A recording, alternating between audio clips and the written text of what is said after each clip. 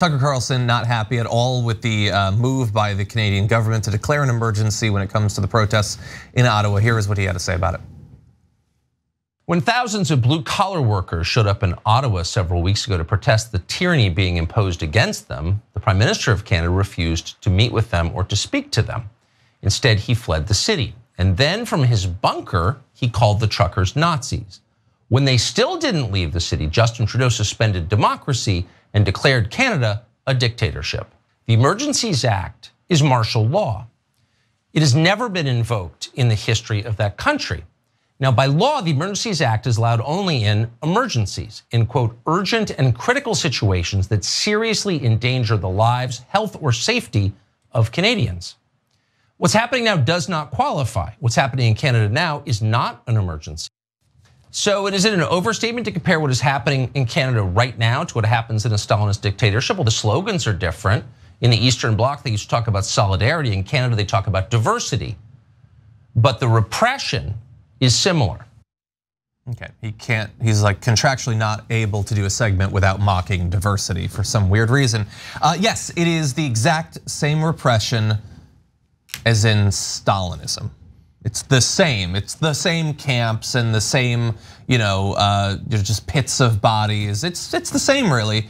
It is tyrannical. It's a dictatorship because they want them to get shots that they're providing free of charge. Again, it's to, just, by the way, save their to save lives. Uh, the entire thing obviously is ridiculous. We're, we're going to talk about this. I just want to remind you of a few things. Again, bearing in mind that these people do not even have a vague memory of how to operate in good faith. So uh, Tucker Carlson who believes eventually stopping the protest is the same exact thing as Stalinism. Uh, he is the guy, by the way, who said of Black Lives Matter protesters just a couple of years ago that they should be uh, labeled domestic terrorists, arrested, and paraded in front of cameras like MS-13. They should be frog marched in front of cameras. They should be plucked off of the streets. Tom uh, Cotton literally said, send in the troops. So again, the right, not in favor of this emergency order, but when Trump was talking about sending his goon squad and they were black bagging people and throwing them back of like Kia minivans and everything, all of them were totally fine with this when they were buzzing protesters with helicopters and uh, bashing people out of the, the peaceful guitar playing protesters that had assembled outside of the White House. That was perfectly acceptable. This is obviously insane and unacceptable.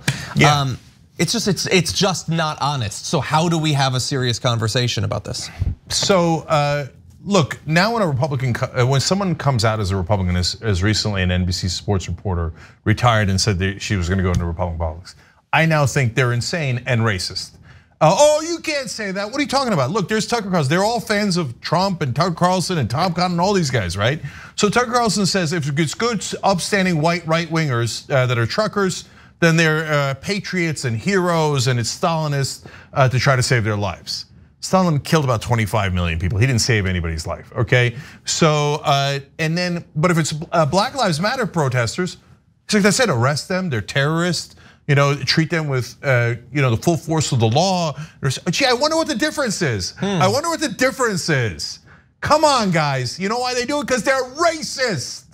Yes, oh no, okay, call them racist, cry, cry, cry. Shut up and actually understand logic and reasoning. I know right wing hates logic. They despise it, right? Mm -hmm. And it's because they just they can't they got to be racist under any and all circumstances and logic bothers them. They're like, "Oh god damn it, if we use logic, we can't actually be racist." Yeah. So and left wing, right wing like they're going to care to do principled stands like we are? like we often do, and oftentimes say, oh no, you should let the right wingers do that.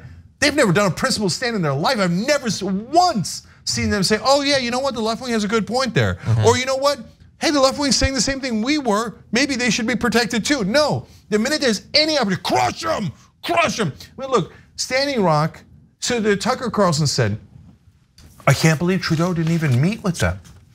Did anybody meet with the folks in Standing Rock? Nobody in the government met with them. Okay, now, mind you, by the way, that was under Barack Obama. Yeah. Even corporate Democrats like Obama wouldn't deign to meet with left wing protesters. Never. Oh, left wing protesters. I don't know that Obama ever met with a single one in eight years. And what would Fox have said if he did? Yeah, they're all catering to the left wing terrorists, yeah. et cetera, right? And so, and then Trump and, and DeSantis and all their heroes laws are being passed, passed left and right, including in Florida. Uh, uh, number one, if there's a left-wing protest, you're allowed to run them over, as John said. Those are literal laws where they say, hey, you won't be prosecuted mm-hmm. if uh, there's a protester in the streets or the highways, like the truckers, and you run them over and kill them, we will not prosecute you. Imagine if Trudeau said that. Imagine if Trudeau said, let's pass a law that if they're in the street, you can run them over and kill them and we won't prosecute you. I mean, what he already called him a Stalinist. What would he call him then? Okay. So, and by the way, you want to protest Israel? That is illegal in many states, including uh, Florida. Not uh, any kind of protest, but if you do a BDS protest and you have a government contract, they're going to take that away from you. They're going to punish you. They don't believe in free speech at all. Yeah. Massive, unbelievable liars. And then uh, finally, um, martial law. He said, "Oh my God, can you believe they're gonna uh doing martial law?" Michael Flynn, the former national security advisor for Donald Trump, went to the White House after the election and argued that Donald Trump should impose martial law in America and seize the ballot boxes and declare himself president, even though he lost. They had a three hour debate in the White House as to whether they should declare martial law and end our democracy. The only reason why Trump didn't agree to it is because the rest of the staff said they would all resign mm-hmm. and they would not allow it. So credit to whatever and horrible Trump loyalists that were there at the end that said, killing democracy seems just an inch too far, right?